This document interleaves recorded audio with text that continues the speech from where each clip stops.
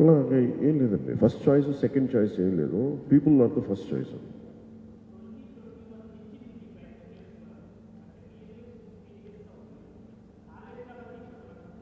లేదు my priority is very clear about the states దాంట్లో ఎందుకంటే నేను మాట ఇవ్వడానికి చాలా చాలా ఆలోచిస్తున్నాను.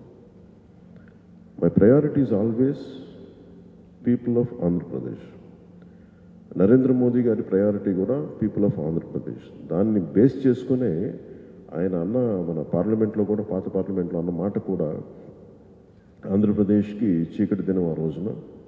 అని చెప్పడానికి కూడా నిజంగా ఆయన మనసులో ఆంధ్రప్రదేశ్ ప్రజల మీద మాట లేకపోతే మాట మాట్లాడుతుంది. అందుకని వారిది ప్రజలే మొదటి ఇది- ఇది ఉంటుంది. అలాగే ప్రాముఖ్యత అలాగే నాది కూడా డే వన్ నుంచి కూడా for me priorities people sir people of AP మేము ఎవరైనా సరే ఇంక్లూడింగ్ జనసేనతో సహా ప్రజలకి ఆమోదయోగ్యమైన విషయాలు చేయాలి కానీ మాకు నచ్చే విషయాలు భిన్నంగా ఉంటాయి. అందువల్ల ఏంటంటే my priorities for people my priorities for the Andhra Pradesh state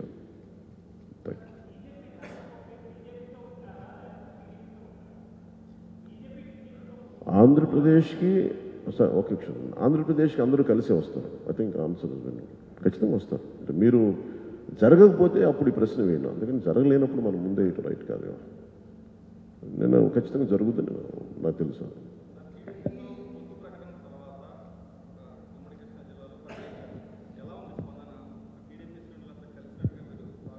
ఈ జనసేనకి ఎప్పుడు చాలా బలమైన విశేష ప్రజా ప్రజాస్పందన ఉంటుంది. దానికి ఎప్పుడు కొరవ లేదు.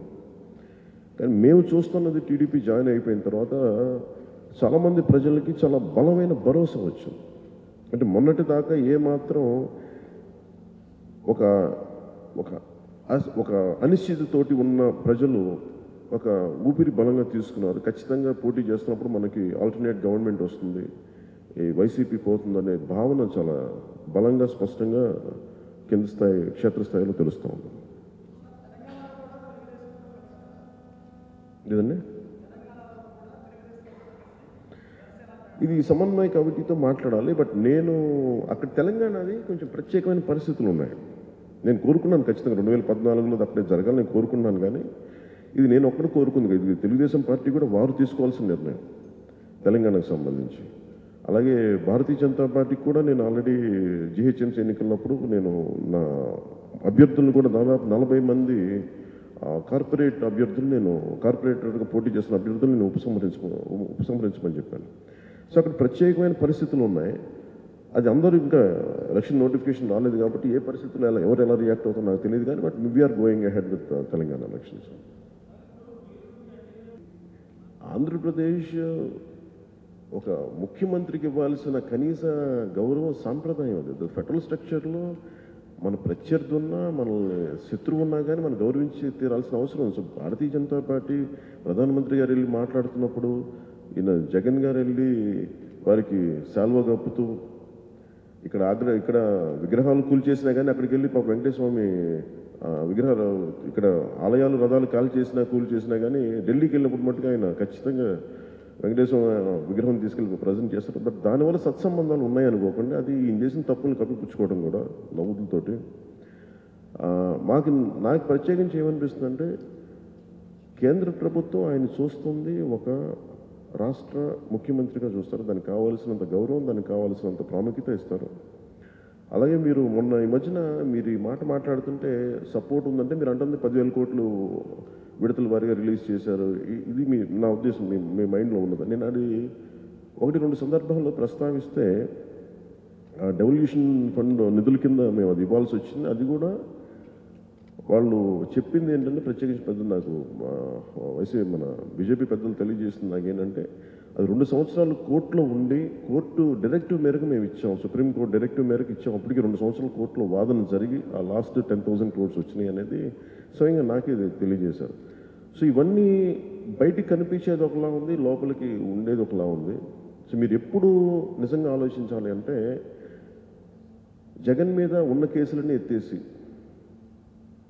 అలాగే జగన్కి అన్ని కేసుల మీద ఉపశమనం కల్పిస్తే ఖచ్చితంగా అది మనం మీరు అప్పుడైనా మాట్లాడాలి. కానీ ఏ కేసు ఎత్తలేదు. అన్ని కేసులు అలాగే ఉన్నాయి. ఇంకా చెప్పాలని కొంత ఇంత జటిలంగా ఉన్నాయి పరిస్థితులు. ఈ వివేకానంద రెడ్డి గారి హత్య కేసులో కూడా ఇంకేదో కనిపించిన వ్యక్తులు ఉన్నారని చెప్పి అది ఇంకా మనకు తెలియలేదు. కానీ దాని సూచనప్రాయంగా తెలియజేశారు. సో మేము దాన్ని నమ్మట్లేదు. It all depends on your conviction sir ఇప్పుడు నేను వెళ్ళి మాట్లాడాను. Sir don't have in have single MLA కానీ నేను మాట్లాడుతున్నప్పుడు చాలా బాధ్యతగా సమాధానం ఇస్తాను ఎక్కడ కొన్ని చిన్నపాటి నిర్లక్ష్యం కానీ అట్లా ఏం లేదు నిజంగా ప్రజలకి జనసేన చెప్తే ఈ మాట ప్రజలకు వెళ్తుంది అనేది చాలా చాలా స్పష్టంగా చెప్తారు. ఎక్కడ కూడా దాంట్లో చేయలేకపోవటం అనేది ఉండదు కానీ మీరు లాబింగ్ దేని మీద చేస్తారు? మీరు ఇంత సపోర్ట్ ఇస్తున్నారు. ఖచ్చితంగా ఫ్లోర్ మేనేజ్మెంట్లో ఒక భాగం అది. మే- అది నేను నేను తప్పని నేను అనుకోను.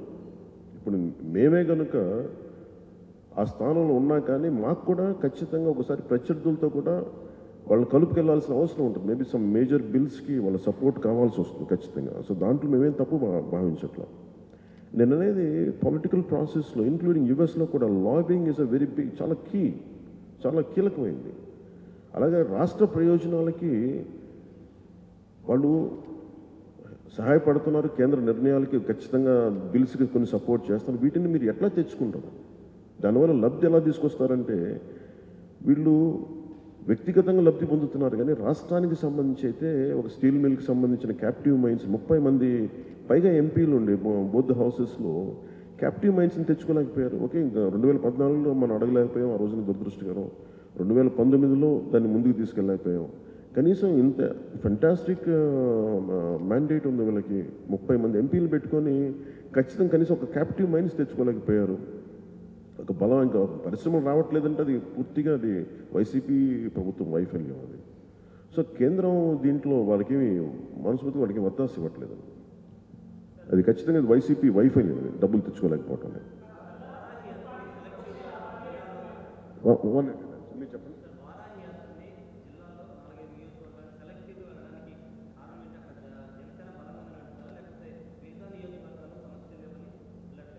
అలాగే మీరు చూస్తే నేను మొదటి రోజు నుంచి కూడా టూ థౌజండ్ ఫోర్టీన్ నుంచి కూడా అన్ని ప్రాంతాలు తిరిగాను.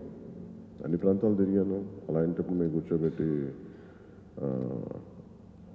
ఉత్తరాంధ్ర కానీ రాయలసీమ కానీ అన్ని అన్ని జిల్లాల్లో తిరిగి. మాకు అట్లాంటిది ఏం లేదు. కాకపోతే ఇక్కడ మేము ప్రత్యేకించి ఇవన్నీ ఎంచుకోవడానికి కారణం ఏంటంటే ఆల్రెడీ ఒక ఎస్టాబ్లిష్డ్ నాయకత్వం ఉంది. అంటే ఇంతమందిని సమన్వయపరచగలిగి దానికి ఏదన్నా ఒక ముందుకు తీసుకెళ్ళగలిగే ఉదాహరణకి మేము మచిలీపట్నంలో వెళ్తే మాకు కనీసం వసతి సౌకర్యాలు లేవు. మాకు ఇస్తామని చెప్పిన ఒక కళ్యాణ మండపం కూడా మాకు ఇవ్వలేకపోయారు. అందువల్ల మా నా నాయకులు ఇంట్లో ఉండాల్సి వచ్చింది. సో అన్ని ఏరియాల్లో మాకు అంత మాకు బలంగా మాకు సమన్వయపరిచే నాయకత్వం ఉన్న ప్రాంతాలకే మేము ముందు ప్రయారిటీ ఇచ్చాం. అంతే తప్ప అది ప్రజా సమస్యలు ఏ మూలన మాట్లాడుతున్నాం కదా ఇప్పుడు క్యాప్టివ్ మైన్స్ ఉంది. క్యాప్టివ్ మైన్స్ గురించి మేము ఇక్కడ కూర్చొని మాట్లాడతాం.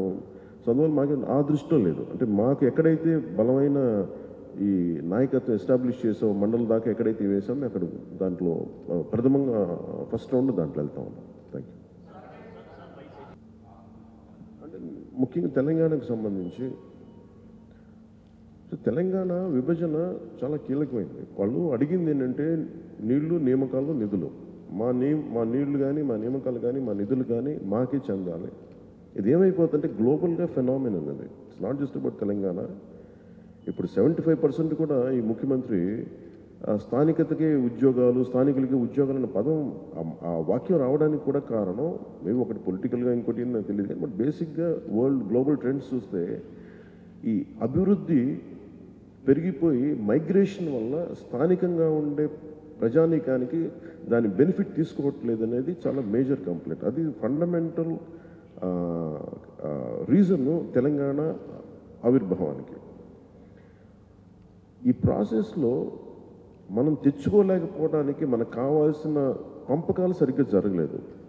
హడావిడిగా మీరు పార్లమెంటుని మీరు మూసేసి బయట ఏం జరుగుతుందో పార్లమెంట్లో అంత కీలకమైన నిర్ణయం దాదాపు ఒక పది కోట్ల మందికి సంబంధించిన నిర్ణయాన్ని మీరు ఏ మాత్రం దాన్ని రిలే లేకుండా మీరు క్లోజ్ చేసిన కాంగ్రెస్ అయితే వెరీ క్లోజల్ మిస్టేక్ అది బ్లండర్ అది వాళ్ళు చేసింది.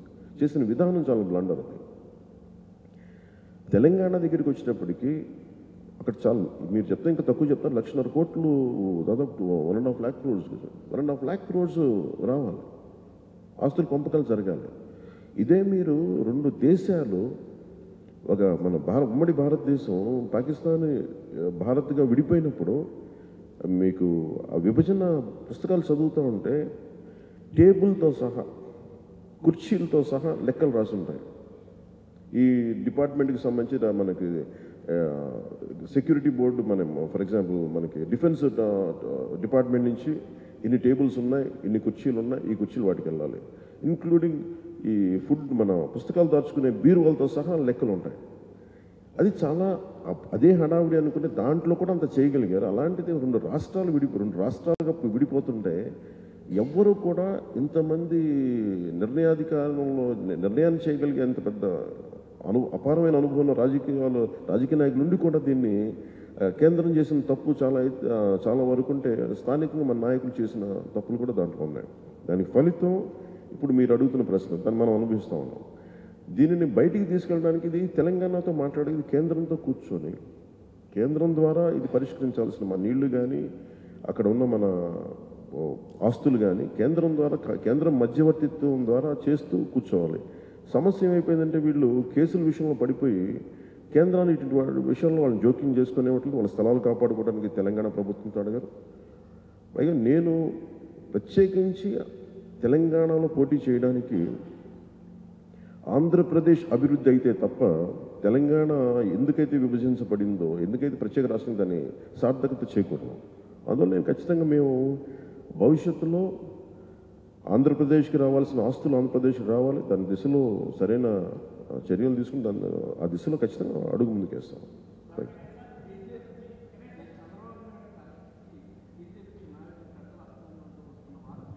ఏం sir?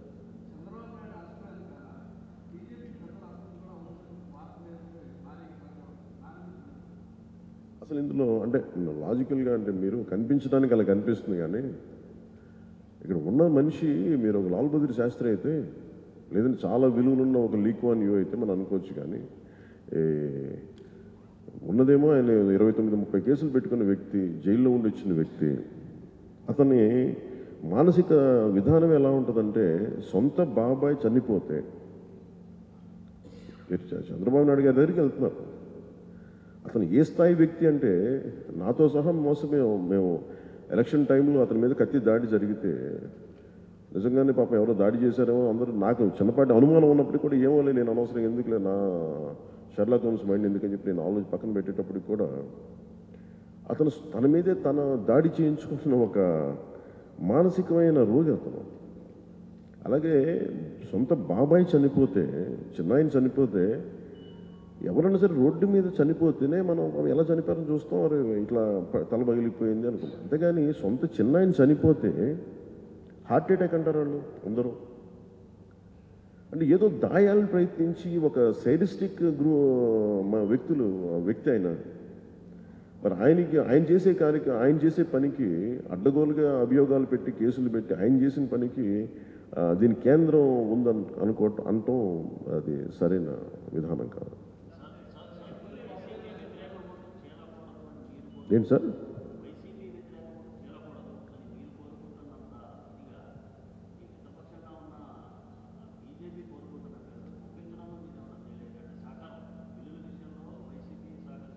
See, the purpose of any political party is ultimate benefit should go to people, sir.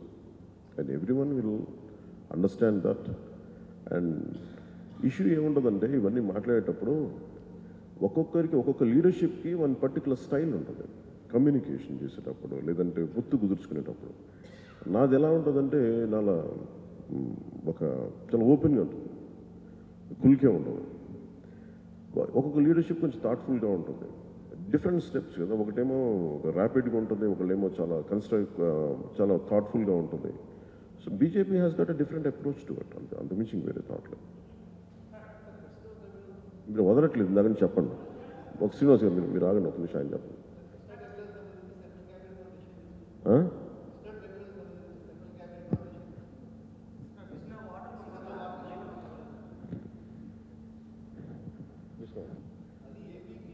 దీని ఇది నాకు ఇది- ఇంకా సార్ నా దృష్టిలో నేను లేదు. అందువల్ల ఒకసారి పెద్దలు మనోహర్ గారు సమాధానం చెప్తారు దీనికి. అదే లేదండి అది మొన్న మొన్న ప్రధానమంత్రి గారి చొరవతోటి అక్కడ తెలంగాణలో జరిగిన కొన్ని ప్రకటనల్లో భాగంగా అదొకటి చేశారు కేంద్ర కేబినెట్ ఆ పూర్తి వివరాలు తెచ్చుకున్న తర్వాత తప్పకుండా ఒక సమగ్రంగా మేము దాని గురించి స్పందిస్తాం.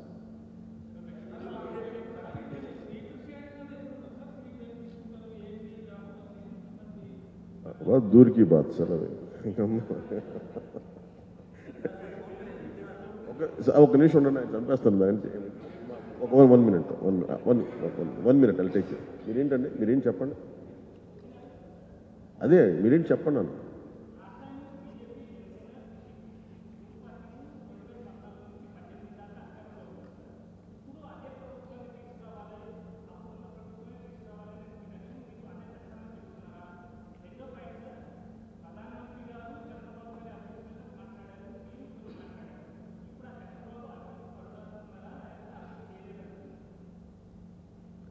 ఇది మీరు చాలా క్లియర్ కట్ ఏసీబీ కోర్టు చెప్పింది. ఇది అభియోగం అన్న అది ఇప్పుడు మనకి కనిపిస్తున్న అవినీతి పరుడు ఎవరండి? మనకి స్టేట్కి ఇరవై తొమ్మిది కేసుల్లో ఉండి సూట్ కేసు కంపెనీలో పెట్టి కనిపిస్తున్న అవినీతి పరుడేమో ముఖ్యమంత్రి. ఈయన మీద అభియోగాలు మోపడ్డాయి సో అందుకని ఆయన అవినీతి పరుడు ఎలా అంటాం? సో మీరు మీరేం చెప్తారు.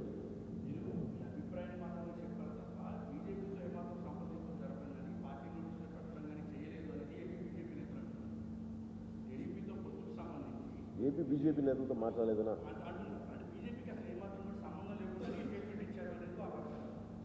ఇది బీజేపీ? అన్నారన్నమాట లేదు అదృష్టం లేదు. నేనైతే లేదు. ఆ, అంటే అలా అలాగే అలాగే అంటే అలాగే అలాగే నేను I speak to top brass of BJP. బీజేపీలో నాకు మొట్టమొదటిగా తెలిసిన ఒకే మొదటి నాయకులు నరేంద్ర మోదీ గారు. లేదా అమిత్ షా గారితో మాట్లాడతాం నడ్డా గారితో మాట్లాడతాం. ఎలాంటి పరిస్థితులు ఏదైనా ఉంటే ఖచ్చితంగా అది వాళ్ళు నాకు తెలియజేస్తారు. మిగతా నాయకులు ఎలా మాట్లాడారు ఏ పరిస్థితుల్లో మాట్లాడారు లేదంటే రేపు పొద్దున గబుక్కున నేను మీ ఆయన మీ మాట విని నేను గబుక్కున కామెంట్ చేశాను అనుకోండి ఆయన ఉద్దేశం వేరే ఉండొచ్చు అందువల్ల నేను ఏంటంటే దాని మీద నాకు తె- నేను విన్నది నేను చూస్తే నేను మీరు చెప్పింది నేను విని మీద నేను కామెంట్ చేయాలి నేను చూస్తే నేను అర్థం చేసుకుంటాను. కానీ నేను చూడలేదు. అలాగే నేను కనెక్ట్ నేను నాకు చెప్పేది ఇవన్నీ చాలా కేంద్రం నా- నడ్డా గారి దగ్గర నుంచి నేను నడ్డా గారితో లేదంటే మిగతా జాతీయ జనరల్ సెక్రటరీస్తో మాట్లాడతాం కాబట్టి అది వాళ్ళు చెప్పినప్పుడు అప్పుడు నేను ఖచ్చితంగా చెప్పగలను. ప్రస్తుతానికైతే అట్లాంటిది లేదు. చెప్తాను.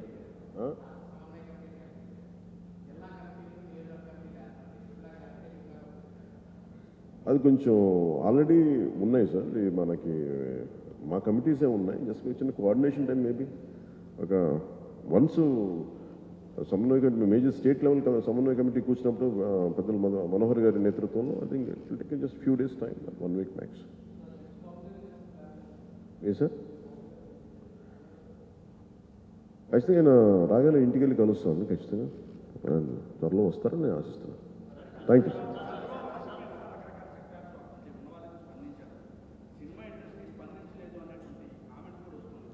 cinema industry is very vulnerable అండి. మనం అర్థం చేసుకోవాల్సింది ఏంటంటే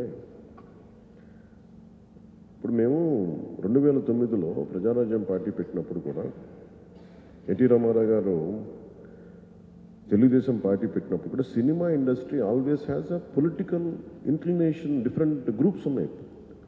కృష్ణ గారు కానీ వీళ్ళందరూ they very ardent support Prabhakar Reddy కానీ they ardent supporters for Congress Telugu Desam has its own support base in film industry Congress has its own support base maybe that has turn in to YCP right now వైసీపీకి ఇది మారుండొచ్చు నాకు తెలియదు అలాగే నాకు ఉన్నది ఏదైనా ఉంటుందేమో కొద్దిగా నాకు తెలియదు నేను ఫిల్మ్ ఇండస్ట్రీ గురించి నిజంగా పెద్ద మనస్ఫూర్తి చెప్పాలంటే నేను అంత థాట్ పెట్టను. ఎందుకంటే నేనే అందులో ఒకరిని కాబట్టి అది నేను దృష్టి పెట్టలేను. చిత్ర పరిశ్రమ చాలా చాలా vulnerable industry they are not political party వాళ్ళందరూ నటులు కళాకారులు లేదంటే దాంట్లో ఇరవై నాలుగు శాఖల్లో పనిచేసే వ్యక్తులు. సో వాళ్ళకి డైరెక్ట్గా మాట్లాడితే ఒక పొలిటికల్ హీట్ని వాళ్ళు తీసుకోలేరు. వాళ్ళు టార్గెట్ చేస్తారు. ఇవన్నీ చాలా వంద సమస్యలు ఉంటాయి వాళ్ళకి కూడా. సో నేను వాళ్ళందరి తరఫున వాళ్ళ బాధ నేను అర్థం చేసుకోగలను కానీ అలా అని చెప్పి బాధపడట్లేదా? లేదంటే ఎలాంటి అభిప్రాయాలు లేవా? అని అనటానికి అది సరైనది కాదు. ఖచ్చితంగా చాలా బాధలు ఉంటాయి వాళ్ళ అభిప్రాయాలు ఉంటాయి. కాబట్టి మనకు తెలియట్లేదు అంతే. నేను దాన్ని నేను దాన్ని అలా చూస్తాను. ఎందుకంటే కానీ సినిమా ఇండస్ట్రీలో మనం మన ముఖ్యంగా ఆ మాట మీరు అంటున్న దానికి ఎందుకు బయటికి రాలేకపోతున్నారు అనడానికి టార్గెట్ చేసేస్తున్నారు వైసీపీ వాళ్ళు. ఇదే ఎన్టీ రామారావు గారు ముఖ్యమంత్రిగా ఉన్నప్పుడు ఆయన మీద తీయని సినిమా లేదు. మండలాసి మండ మండలాధీశుడి దగ్గర నుంచి తీస్తూనే ఉన్నారు. అదే కోటా శ్రీనివాసరావు గారితో కూడా తీశారు. ఆఖరికి మన పృథ్వీతో కూడా తీశారు పృథ్వీ గారితో కూడా తీశారు. ఎన్ని తీసినా ఎక్కడ కక్ష సాధింపు చర్యలు ఎప్పుడు ఏ రోజున కూడా ఎన్టీ రామారావు గారు హయాంలో కానీ తర్వాత కానీ ఇప్పుడు జరగల. ఫిల్మ్ ఇండస్ట్రీకి ఓకే మీ పొలిటికల్ అభిప్రాయం మీది గౌరవించారు అక్కడితో కలిసి కూడా యాక్ట్ చేసిన దాఖలాలు ఉన్నాయి. కానీ వీళ్ళు ఏం చేస్తున్నారంటే నువ్వు ఒక ఎవరినో ఎందుకంటే మీరు ఎందుకు మాట్లాడతారు రజనీకాంత్ గారినే ఒక senior actor Dadasaheb Phalke award గ్రహీత అశేష ప్రజాభిమానం గల వ్యక్తి ఆయనకున్న పరిచయంతో చంద్రబాబు నాయుడు గారిని కలిసి ఆయన ఏదో మెచ్చుకుంటే ఆయన తిట్టని తిట్టు లేదు పాప ఆయన్నే డిఫెండ్ చేసుకోలేని పరిస్థితిలో ఉన్నప్పుడు ఒక మామూలుగా కొత్తగా వచ్చిన హీరోల దగ్గర నుంచి కానీ ఎస్టాబ్లిష్ హీరోస్ దగ్గర నుంచి కానీ వీళ్ళ వైసీపీ నోళ్ళలో పడాలని ఎవరు అనుకోరండి. నాలాంటి మొండోడు నా బయటకు రావాలి తప్ప ఇట్లాగా. ఎందుకంటే నేను full form full fledged politics ఉన్నాను కాబట్టి నాకు కెపాసిటీ ఉంది కానీ నేను కూడా సినిమాలో ఉంటే ఎంతవరకు మాట్లాడగలను నాకు తెలియదు సో అందువల్ల నేను ఖచ్చితంగా ఫిల్మ్ ఇండస్ట్రీని దీని నుంచి మిమ్మల్ని మినహాయింపు ఇవ్వాల్సిందిగా కోరుకుంటూ సెలవు తీసుకుని జై హింద్.